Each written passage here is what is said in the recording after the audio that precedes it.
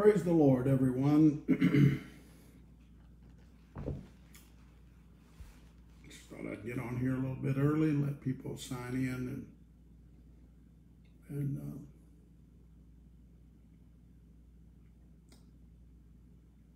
uh, before I share with the, with everyone.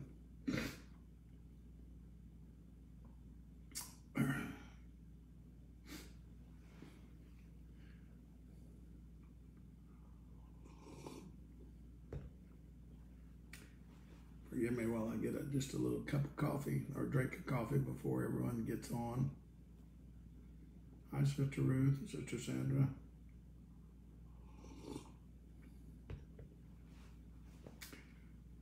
Praise the Lord. Well, it's good to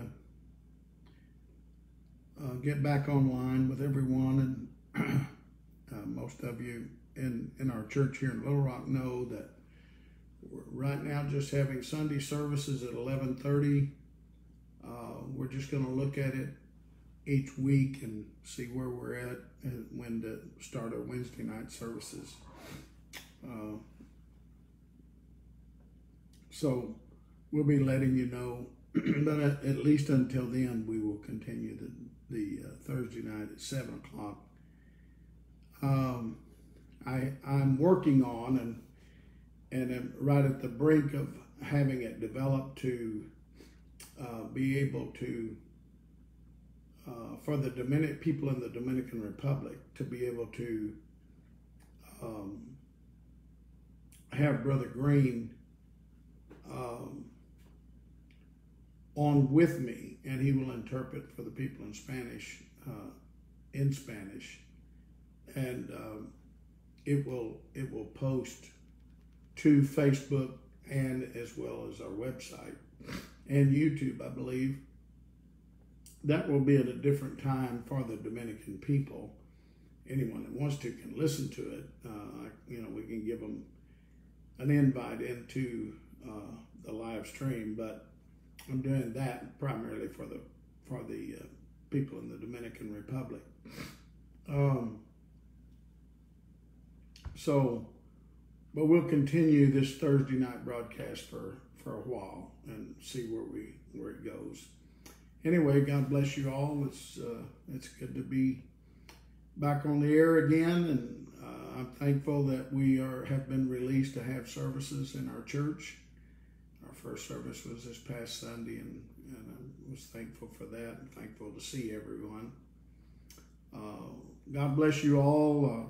Uh, I do want to mention Brother Chuck Millsap in Wichita, Kansas, passed away today, and uh, our heart goes out to Sister Bernice and Brother Sister Green and uh, Sister Brother Millsap's family, uh, all the saints there in Wichita.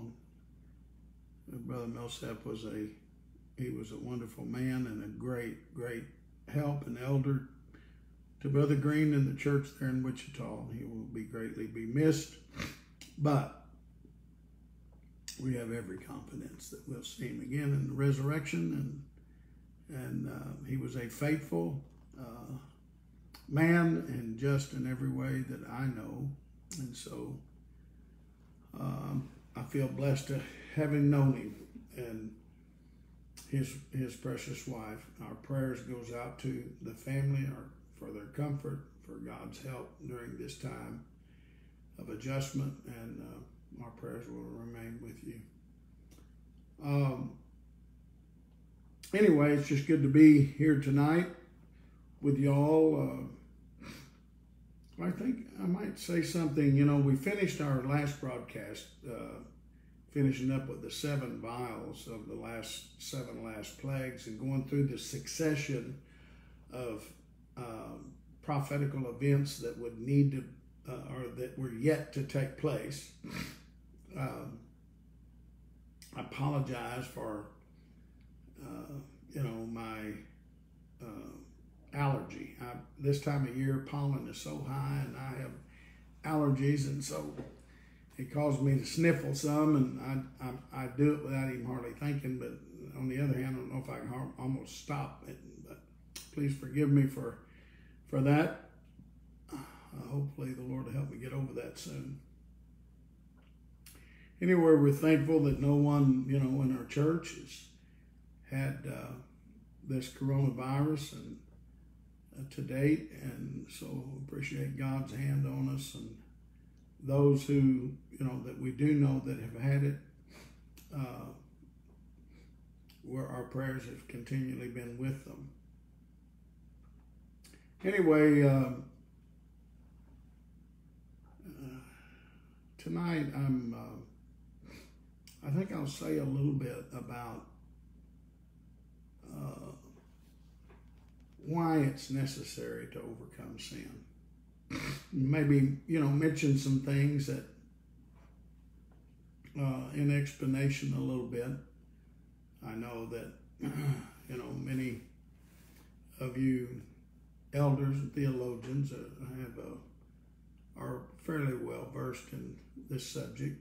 However, there's you can always hear something from somebody that you know maybe has a little bit of a different way of explaining things or brings in a different thought on it that will help you. I know every subject I talk on, the more I talk on it, the the better I understand it and the more settled I am on on it. And so, uh, just in in in talking about why it's necessary to overcome.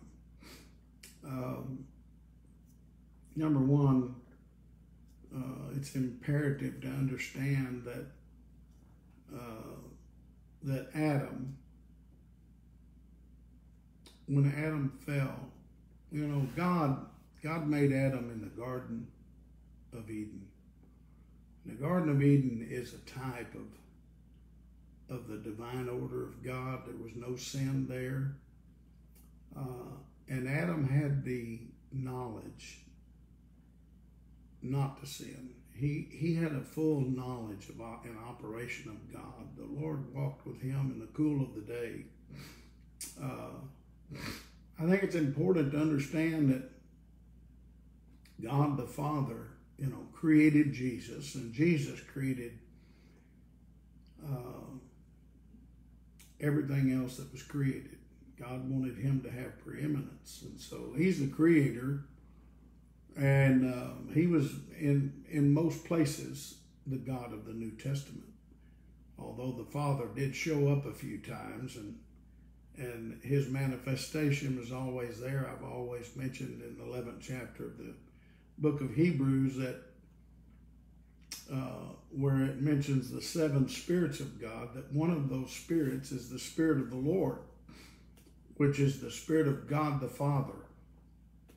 Um, then, then the Spirit of wisdom, which was that was Jesus. He was the wisdom of God. He was made wisdom for you and I. He was God's mouthpiece, God's mindset uh, over all of God's work. He's the head of the body. He's somebody said he's the brains of the outfit. Brother Clyde used to make that statement quite often. He was just an old country boy. I came up in the country, so that that rung a good bell with me.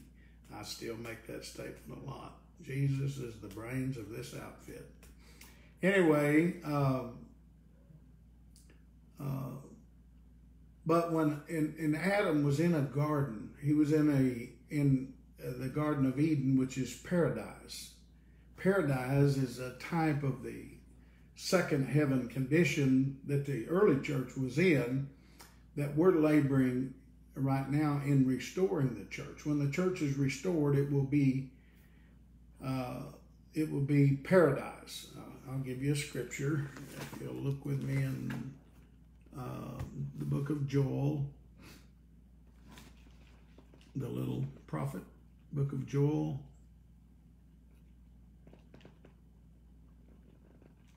To give me a second to get there. Hosea, Joel, Amos.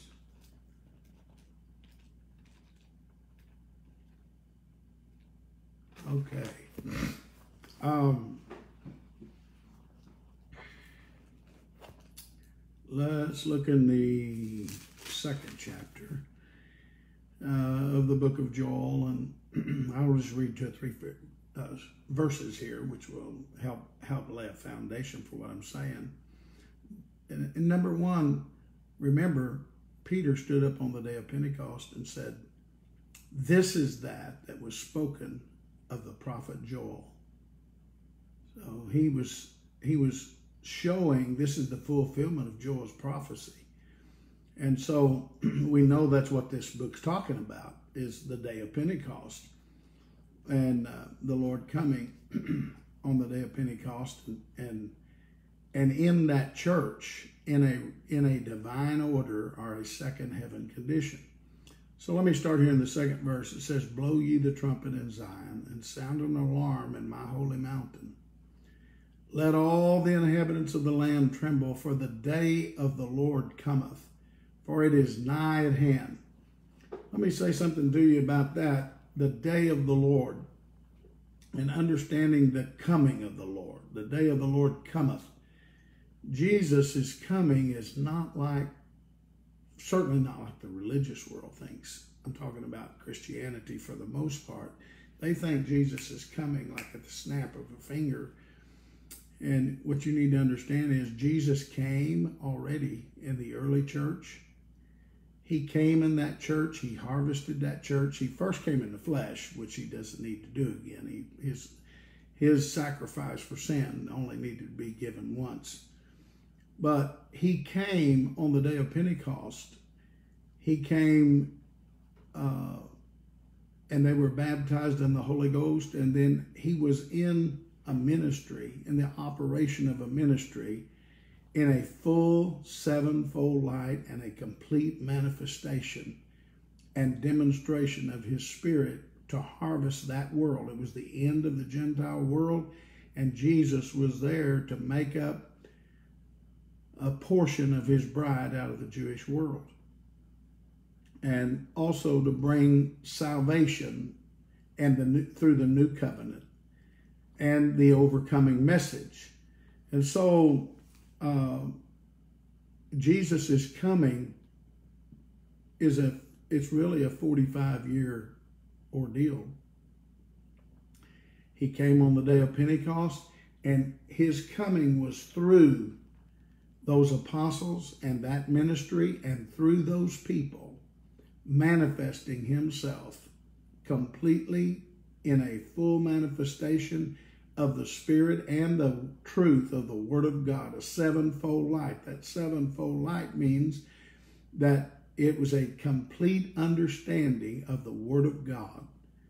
They didn't lack any understanding. Down here, we're still working on uh, restoring all of the truth and restoring the church to a point of a sevenfold light and a um, a complete full manifestation of God, which is a second heaven condition. Uh, let me go back now. I read the first verse Blow ye the trumpet in Zion, sound the alarm in my holy mountain, let all the inhabitants of their temple, for the day of the Lord cometh, for it is nigh at hand, a day of darkness and of gloominess, a day of clouds and of thick darkness, as the morning spread upon the mountains a great people and a strong. There hath not been ever the like, neither shall be any more after it, even to the years of many generations. That verse alone is a great inspiration, gives me great inspiration. And the reason it does is because Jesus was coming in that early church on the day of Pentecost and remaining through that 45 year period. But he said, There's this people, there's never been a people like them, and neither shall there be any more like them, even to the years of many generations. That that indicates that there will be a people, but it'd be many generations, which is us, the Gentile restored church in the end of the Gentile world that would be a church like that early church. And so he said, uh, verse 3 says, A fire devours before them. That's judgment. And behind them a flame burneth. The land is as the Garden of Eden before them, and behind them a desolate wilderness. Yea, and nothing shall escape them. So before them, they were going in back into the Garden of Eden. That's what they. That's what was before them. Is they were going back into a sinless second heaven condition, Garden of Eden or a paradise, however you want to. Those allegories are there for us to see. And then he said, behind them is a desolate wilderness. That's the falling away of the church. And nothing shall escape them. In other words, they judged that world in the end of the Jewish age. And so uh, I'm just using that scripture to show that when Adam when Adam was in the garden, when he was in uh, that paradise, and, and he was in a second heaven condition, Adam sinned knowingly, Paul said. Uh, and so but Eve was deceived. And so uh, he had a full knowledge of what he was doing. And that's why when he did it, there was an eternal judgment applied. Death was applied, and death came on all men because Adam was born of God. Uh, how did Paul say it? He said the first man, Adam, was a living soul, and the second Adam was a quickening spirit. Well, Adam, the first man, Adam, was made of dust. He was made a human, and God breathed into his nostrils, nostrils, and he became a living soul. And so, but the second Adam, which was Jesus, he was a picture. Adam was a picture of him who was to come. And so, uh, Jesus uh, uh, he was a quickening spirit. He, in other words, he Jesus didn't have to breathe, breathe into his nostrils for him to get life. When Jesus was, uh, when he was taken from heaven, reduced to a seed and placed in Mary's womb, he was a live spirit. He was alive uh, in God. He was God was his father. He was he was he didn't have to be made alive. He was already alive. He was a quickening spirit, and um, and so uh, Adam, when when God made him, he was made a live soul, and he was alive unto God. He was God's child. Uh, God was his father, but he he disobeyed, and he he didn't, how did uh, Paul say it in Romans that um, sin, uh, sin was in the world from Adam to Moses? Uh, but uh, nevertheless, uh, death did reign from Adam to Moses, but uh, sin wasn't imputed until the law was given. What that means, that word imputed means counted.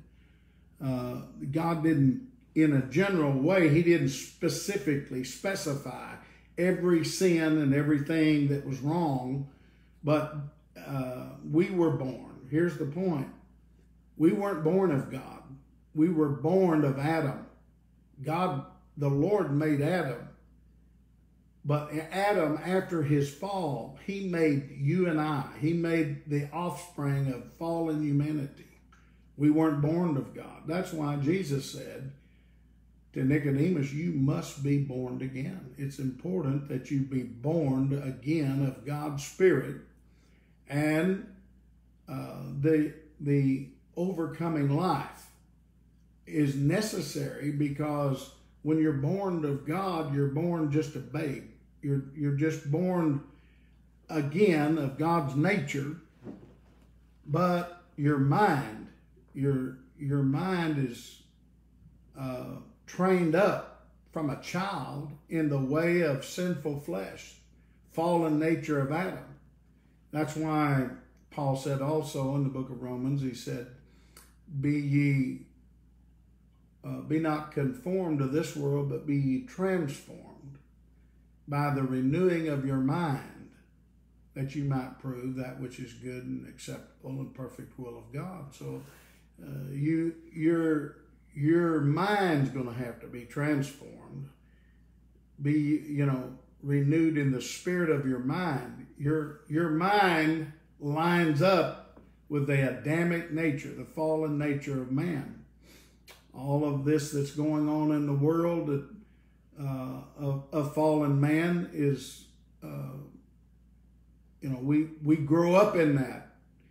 And uh, our mind takes on the mindset of the world without even trying. But your mind will have to be renewed, and, but it will you it will take a new birth. It will take being born again of God's Spirit.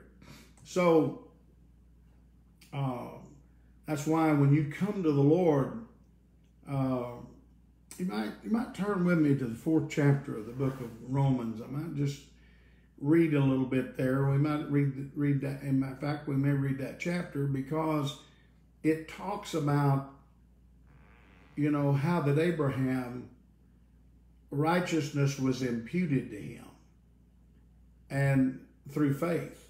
And that's how we are the children of Abraham, is through faith. Righteousness can be imputed, or again, that word counted. God count you and I righteous. When we accept Jesus as our Savior and we're born again of His Spirit and we begin this road of pilgrimage leading, leading us to maturity. Transforming our mind, learning the ways of God, and learning, and it takes uh, certain spirituality. It takes, you know, it takes uh, God training you up spiritually. You you can't receive this with the carnal mind. It it takes the Spirit of God to touch you. For you to have faith, you can't have faith without God helping you to have faith. Faith comes by hearing, and hearing by the Word of God, and it takes the Spirit of God to touch your ears. The Spirit of God will have to touch you in your hearing to cause faith to rise in your heart where you can believe what the Word of God that you're hearing. And so you're uh, you're going to have to grow.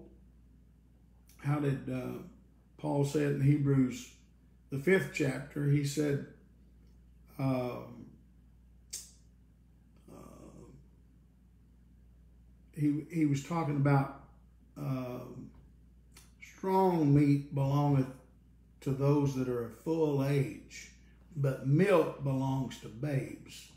See, so there's a difference in being a full age in God and a babe in Christ. You can, you know, when you come into this, you're just a babe and you're going to first and, and he's using that allegory of milk and strong meat to show that when you're a babe in Christ, you can't understand the the detailed or difficult parts of the Word of God that, that uh, you're going to need to understand as you get as you develop and mature in the things of God. But first, you'll start off like a child does with milk, that the just scriptures concerning salvation and and uh, walking with the Lord and receiving the Holy Ghost and repenting of your sins and trying to get your mind girded up to receive the things of God and learning how to yield to the Spirit of God when God deals with your life, learning how to receive the Word of God. Um, that's all uh, milk of babes. And uh, we're all babes in Christ. By the way, let me just say that uh, sometimes brethren want to, um, I've heard brethren try to use in Christ as being perfect, and that's not so. Uh, you're in Christ when you're born again. You're you are in Christ's kingdom. You're born of Christ of the Lord, and you can be a babe in Christ. But you know, uh, and Christ is in you. But of course, we it, it is Christ in you, the hope of glory, to for Him to fully develop and become a part in your life. So, uh, uh, look in the fourth chapter of the book of, of Romans. Uh, I just want to say a little bit about there about uh, imputed righteousness. Uh, let's start in the first verse. It said, What shall we say then that, and if everyone would turn to the fourth chapter of, of Romans, first verse. What shall we say then that Abraham, our father, as pertaining to the flesh, hath found? For if Abraham were justified by works, he hath whereof to glory, but not before God. For what saith the Scripture? Abraham believed God, and it was counted unto him for righteousness. That word counted means the same thing, excuse me, as being as having it imputed.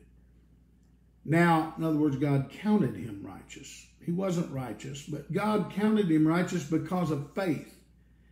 Now to him that worketh is the reward, uh, not reckoned of grace, but of debt. But to him that worketh not, but believeth on him that justifieth the ungodly, his faith is counted for righteousness. Even as David also described the blessedness of the man unto whom God imputeth righteousness without works, uh, saying, Blessed are they whose iniquities are forgiven and whose sins are covered. Blessed is the man to whom the Lord will not impute sin. He's quoting Psalms 32, 1 and 2 there. And by the way, there is no greater blessing than to have your uh, have the Lord not impute sin, not count for God to count you righteous. This is a marvelous thing that God will, because of the work of Christ, and what he did for you and I, that God can take all of your sins and forgive them all and never bring them up against you again in judgment. Now, I will say this, you know, uh, God don't forget. And uh, you and I are the same way. You, if someone sins against you, you you need to have forgiveness in your heart. You've got to forgive.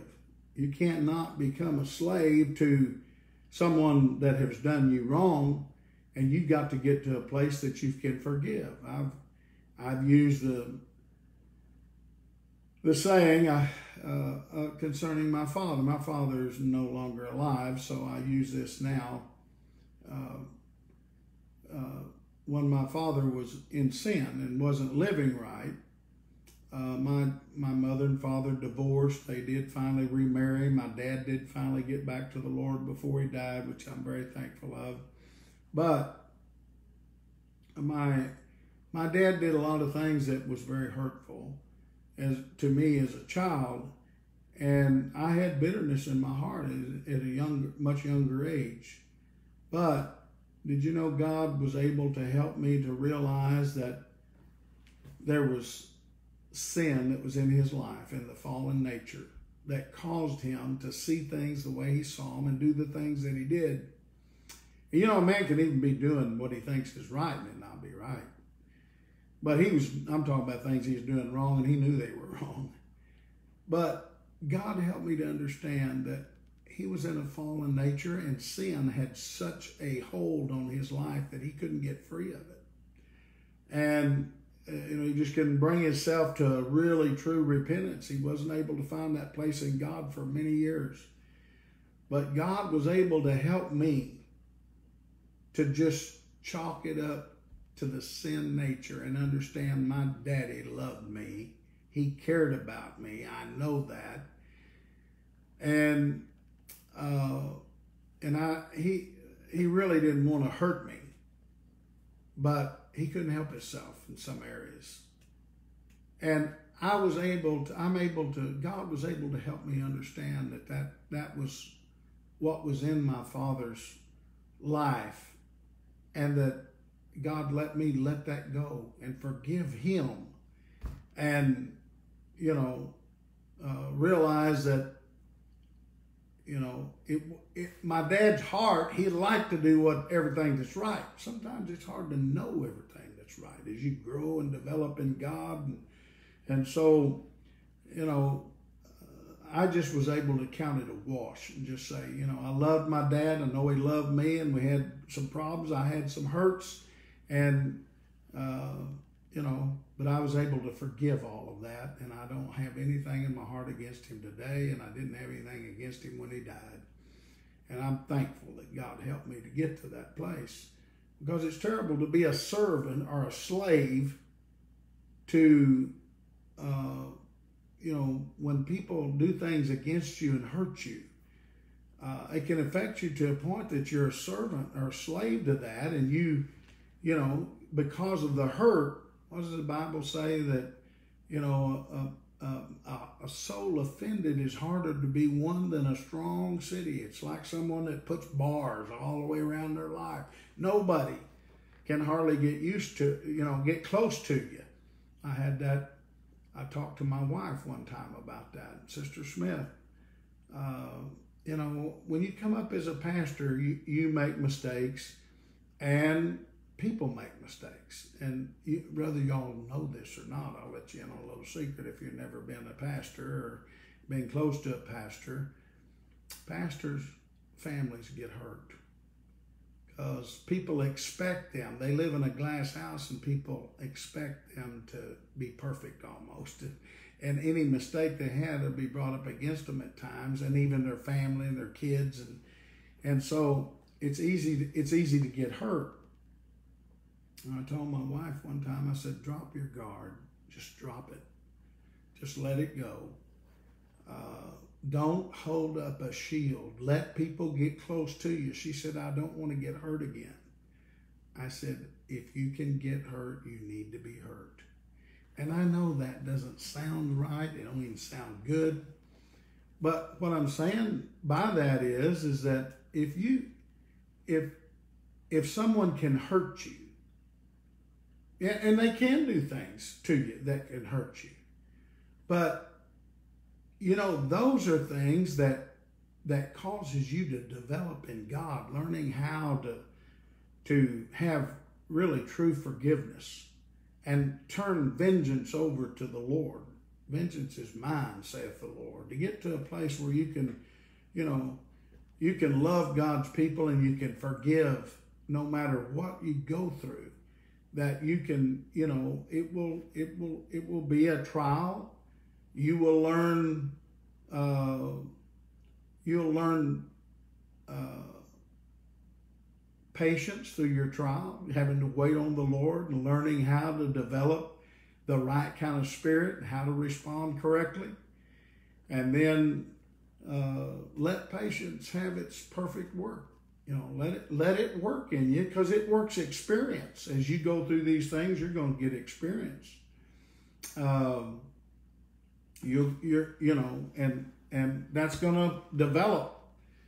Waiting on god learning how to to respond uh, brother ray Leniger, before he died he had a saying he used to say uh, he, he used to say learn how to don't he'd say don't react to to, to uh, a situation but learn how to respond. I heard a minister one time spend an hour in a minister's meeting trying to explain to him that react and respond meant the same thing. But they weren't getting what he was saying. You know he was saying you can react in the flesh. If he if he'd have said it different they'd have got it i'm sure. But what he meant was as if you react in the flesh instead of respond in the Spirit of God, in the teachings and the good Word of God. Uh, you know, and that's what he was trying to get across to the people. Don't don't react in the flesh to situations that come come up in your life or come against you. Anyway, so um, let me let me go on just just a little bit here in the fourth chapter of, of Romans. Um, blessed, I'll read the eighth verse again. Blessed is the man to whom the Lord will not impute sin. Cometh this blessing then upon the circumcision only, or upon the uncircumcision also? For we say that faith was reckoned to Abraham for righteousness. How was it then reckoned? When he was in circumcision or in uncircumcision? No, not in circumcision, but in uncircumcision.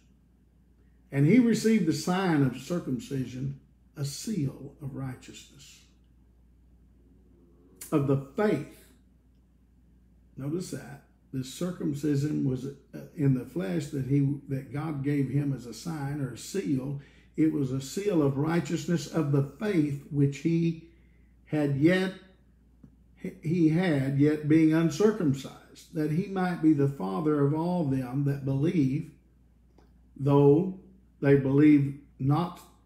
They uh, I'm sorry, uh, though they be not circumcised that righteousness might be imputed unto them also.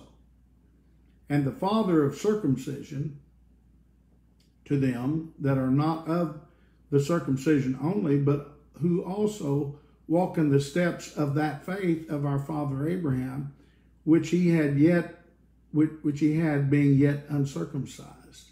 For the promise that he should be the heir of the world was not to Abraham or to his seed through the law, but through righteousness of faith.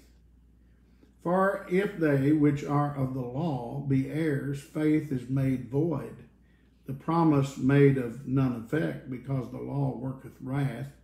Of where, uh, for where no law is, there is no transgression.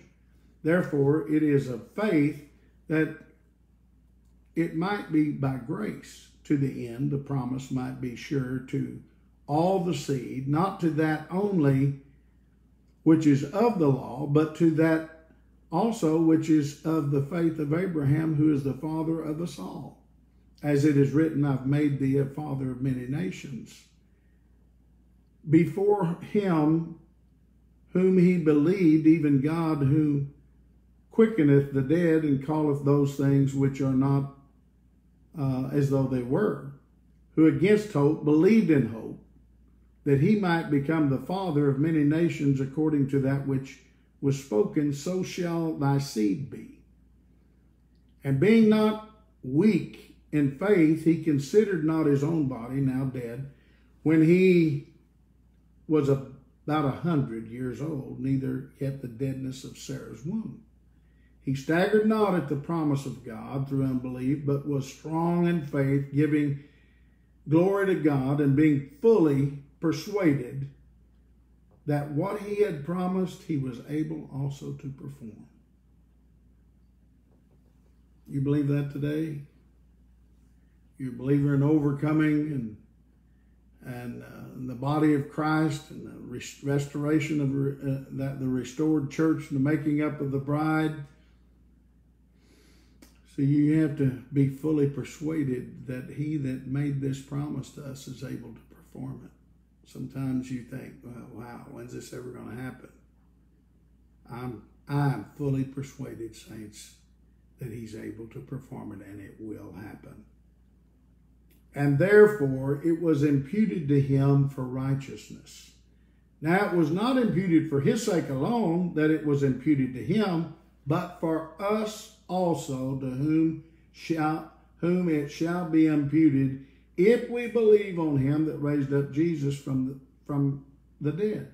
So I'm just showing you that uh, God, God actually, the righteous line was before Abraham, and there was no law, and they believed. They had faith and they were counted righteousness for their faith.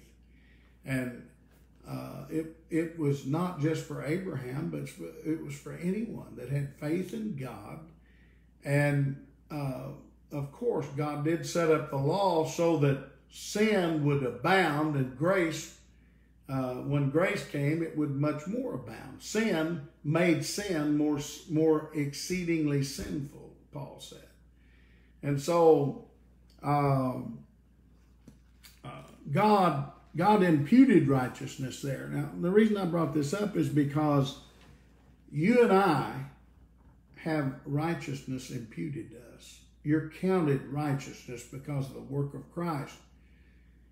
But you're not righteous, not until you get this finished work of full maturity and develop into a full age.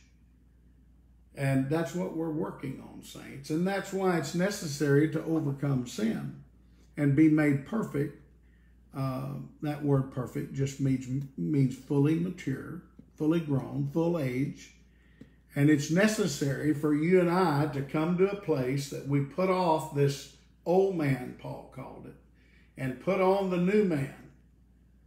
Uh, and, and, and it's our mind. See, your mind, your mind, uh, your mind is in, in sync with the fallen nature of Adam until you're born again.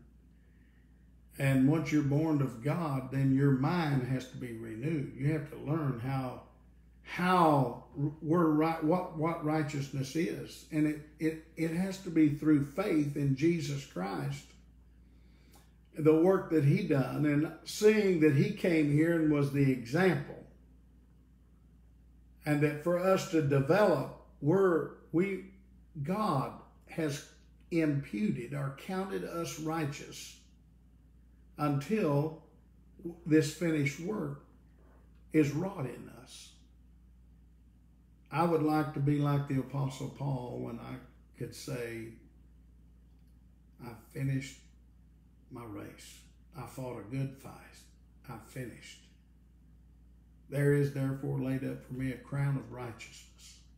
And not for me only, but for them also who love his appearing. That's not just talking about Jesus coming in in the final advent of him making up his bride. It's talking about Jesus coming in your life and mine. See, you're it is every man in his own order. Turn with me to uh, 1 Corinthians, the 15th chapter.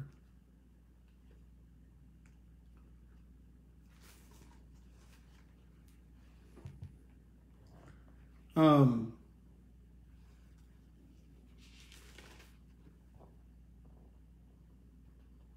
and uh, that we'll start in uh, the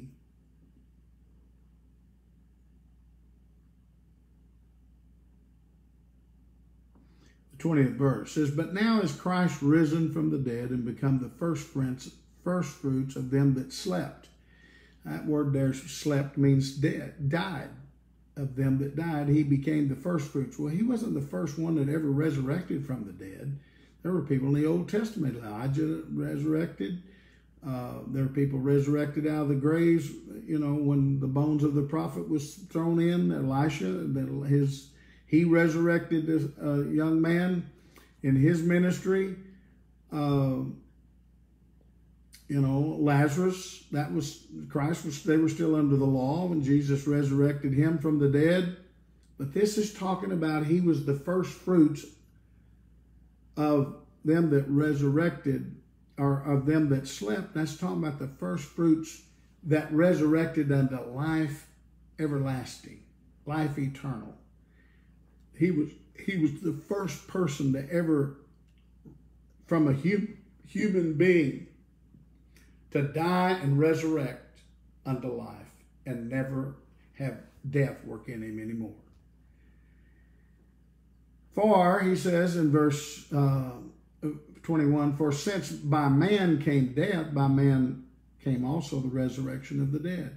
For as in Adam all die, even so in Christ shall all be made alive, but every man in his own order. Christ the first fruits, afterward they that are Christ at his coming. Remember what I told you about his coming, Jesus is coming.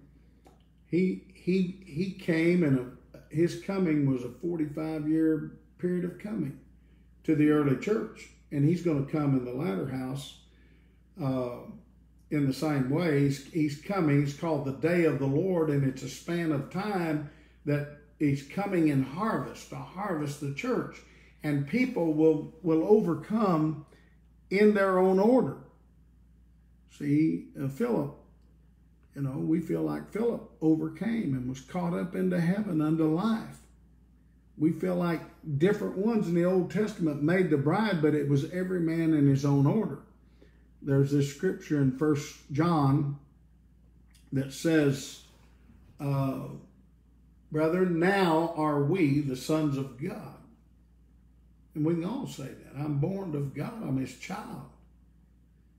But we know not what we shall be. See? but when he appeareth, we shall be like him. Well, Jesus could appear to me right now, and that wouldn't make me like him. It wouldn't make me an overcomer either. If he just physically appeared to me, wanted to talk to me or whatever. But when he appears in my life, when I am developed to the fullness of the stature of the man Christ Jesus, when I be, I will, then I will see him as he is. I will know him. Uh, you know, when when I finally in my order of God working in my life. See, I, I say this quite often that this is my testimony, what I'm going through, and what God is directing in your life is your testimony. It's like a it's like a fingerprint.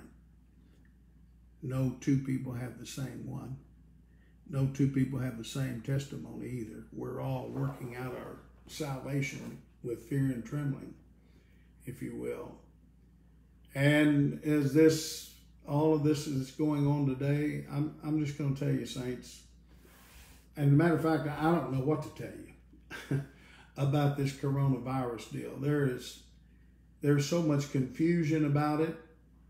Um, you know, in many ways, it seems like it's blown out of proportion. It's a big hype. In other ways, it's, you know, there, there's a lot of fear uh, attached to it. Uh, the way that we are all responding in fear, the way our government is having us respond, the media, all in fear, and then there's all of this other uh, that's being created by this fear that's causing people not to trust the government, the media, and all that's taking place. The only thing I can say to you right now is be still and wait on the Lord and put your trust in Him because He is the only one you can absolutely, completely trust. The Lord will get us through this. And, uh, you know, I think that that uh, the Lord's not finished yet. I can I definitely know that we are not yet in any place that we're in the end of the world. There's many things that has to transpire yet, and there's many things that will happen. So just hold steady. God's hands on His people. He's not going to do anything that He's not going to reveal it first to His prophets and God will give we'll have answers for this. We just have to be still and by faith walk with God and try to get the mindset of the Lord for all of this for the body of Christ. And so I just I want you all to hold on. Uh, hold on to the Lord and hold your faith. Don't lose faith. God uh, his hand is on us. He's not forgotten us and he's not caught off guard.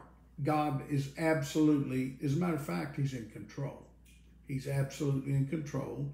And whatever he's allowing to happen right now worldwide, I do believe that the Lord may be getting things in position. Uh, he may be allowing things to happen. He may have even put it in the mind of, of of men uh, in in world leadership. You know, God may be getting the world ready and and uh, getting them positioned to where He can uh, bring about His judgment. Look, this world is evil. This world has not turned to God. This world has turned away from God. And God is going to judge. He's going to judge the world and He's going to gather His righteous out of it and he he he may force us i'm talking about the people of god he may force us to have to uh, get closer to Him and, and rely on Him more and act on our trust and our faith. And so, uh, you know, I, I, I started this off talking about why it's important to overcome sin, why it's necessary. Number one, if you don't have the baptism of the Holy Ghost, you need to begin to seek God for it because you cannot overcome the Adamic fallen nature of man. It takes a born again experience, and that's the birth of the Spirit of God, which is the Holy Ghost birth. And so you've got to have that new man, that new nature to develop. I said your mind lines up with the old Adamic nature when you come to God. But once you're born again and God begins to deal with your mind, begins to get renewed and it starts slowly lining up with the new man, the nature of God. And before long, when God's finished with you, your mind will re- be renewed and your mind will line up with the new man, the nature of God, and the Adamic nature will not have a mind or a vehicle to operate in, and it will cease to operate. It'll cease to exist. It will die, mortify the deeds of the flesh through the Spirit. The Spirit of God will lead you, direct you, and guide you, and help you develop and renew your mind. And and and I, don't get me wrong, this is not a you can't do this with the power of the mind. It's God the Word of God and the Spirit of God working in your life that empowers your thinking, causes you to understand how God thinks, what's righteous and what's not righteous. He's counted you righteous while you're developing true righteousness and holiness. So, uh, God's working that in all of us, and it is a journey. It's a progressive work of the Lord. Keep serving Him.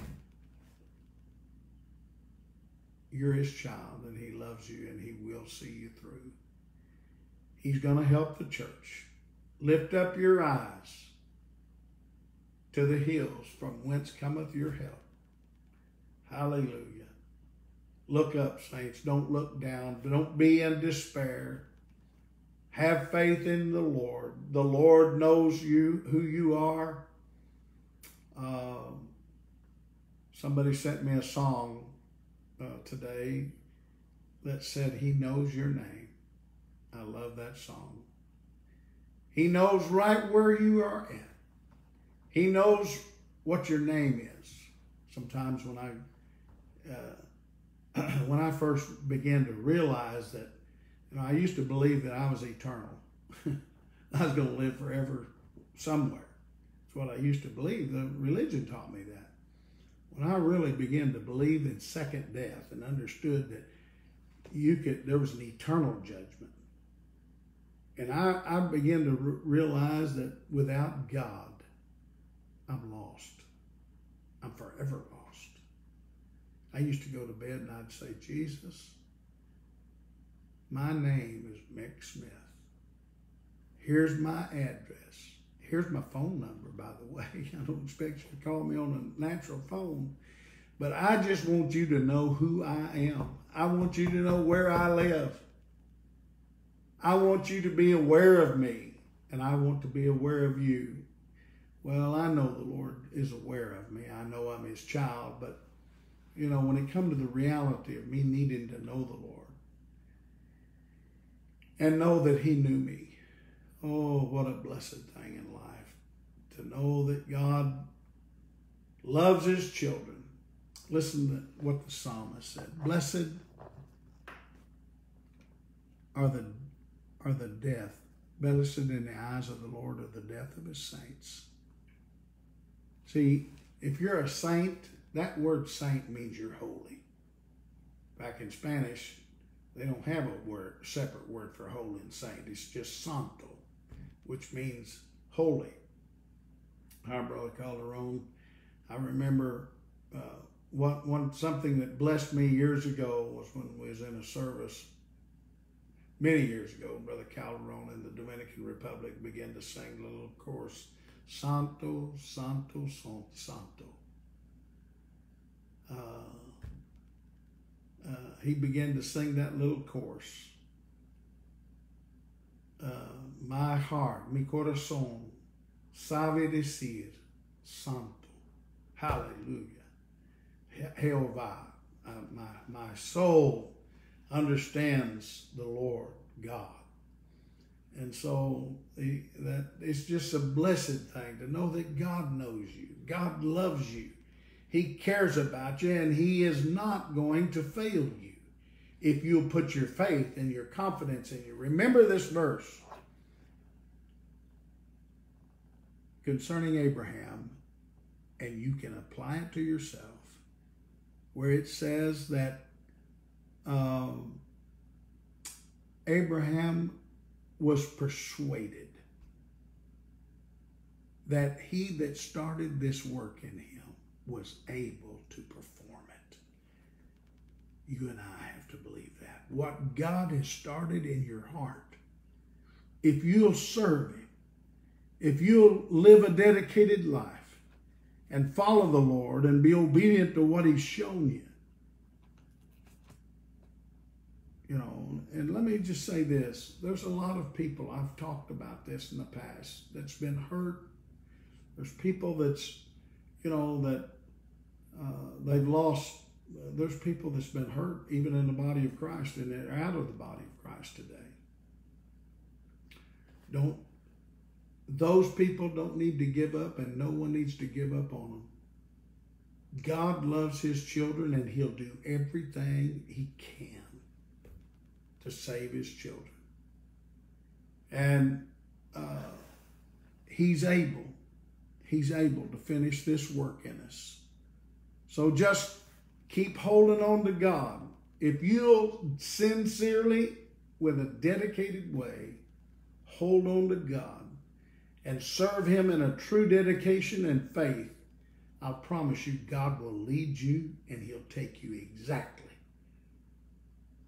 exactly where He wants you to be, and He'll finish and perform the work that He started in you in its finished work. Hallelujah. Praise God. Well, it's just good again to be with you and, and uh, be able to say a few words. I always get lifted up when I'm talking about the things of God. I appreciate, you know, all of God's people and uh, Appreciate the people here in, in, in Little Rock, Arkansas, the Dominican Republic, and all over in the body of Jesus Christ.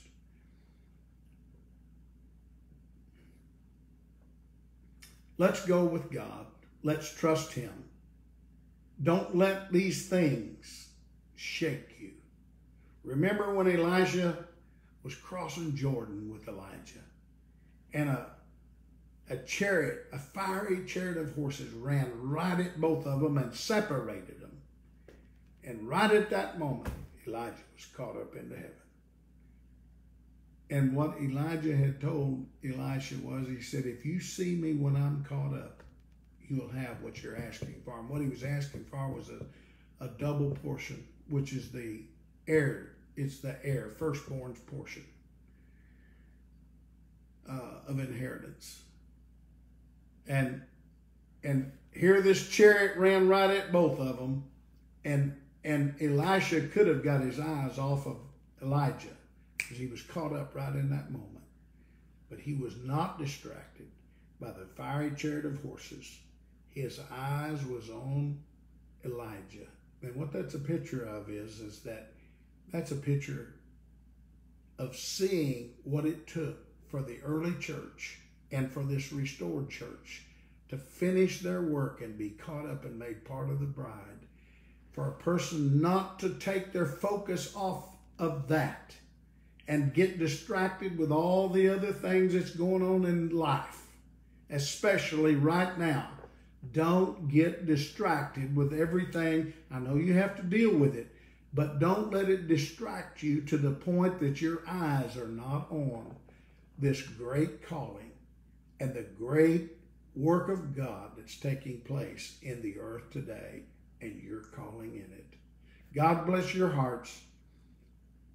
I'll talk to you next Thursday night at 7 o'clock. those in the Dominican Republic, I'm working and I may have it set up by then to have uh, a live broadcast to the people in the Dominican Republic with Brother Green giving me an interpretation on live broadcast. I will be letting you know as soon as we get that set up. Hi, Sister Henderson. God bless your hearts. Good to see you on here. Um, anyway, um, pray for us. Pray for the needs of the church. Pray for the Dominican Republic as well as the other missionary works. They are suffering. They're suffering. In the Dominican Republic right now, they cannot leave their homes. At 5 o'clock in the evening, they have to be home, and if they leave, they'll be arrested. Uh, and their economy is in very bad shape. And I'm trying to, I want to thank everyone that's mailed in offerings. It's helped us. I'm trying to help those in the Dominican Republic as much as possible. So, God bless your hearts. Bless you for your, your giving and your help. Until next time, you pray for me and I'll pray for you. God bless you and good night. In Jesus' name, amen.